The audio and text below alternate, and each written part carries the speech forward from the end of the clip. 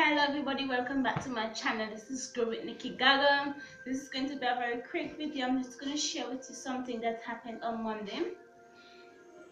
It's Saturday on Monday there was an accident on the leeward side of the island on the leeward side of St. Vincent.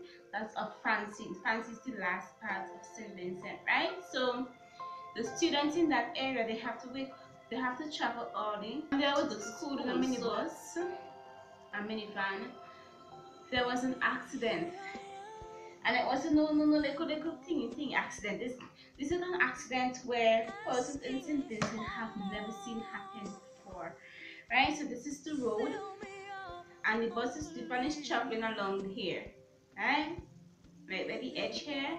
And then he lost control and boom, he went over. And when he went over, now there was there is an ocean below there not like it's a sea and that it doesn't have a seashore it's the ocean right?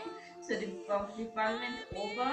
Obviously it went, went tumbled down some rocks first and then into the ocean and you know five of the students got dead because the water there is very rough. That's the windward side of the island and the windward side of the island have very rough, rough waters. Not like the water it's like calm like where i'm living down here it's very rough on that side and you know five of those students died and rest got saved um there was this young man.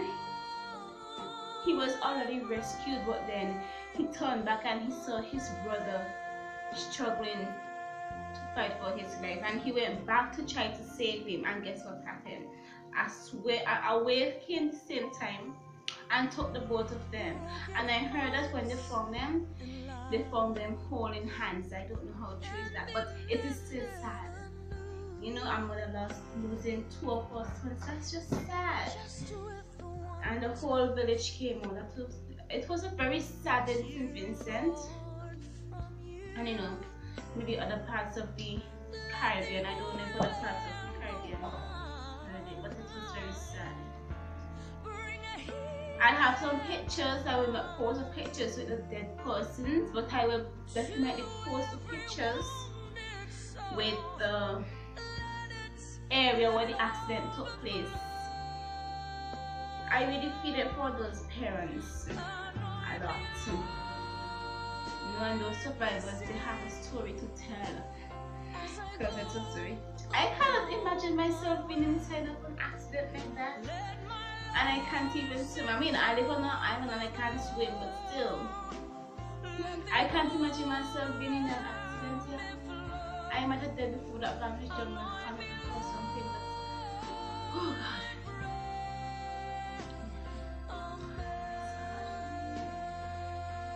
So I'm gonna post these pictures and keep. I'm gonna keep praying for those families who lost their loved ones. All of them were related. And I want you guys to keep praying for those families as well because they are going through a lot.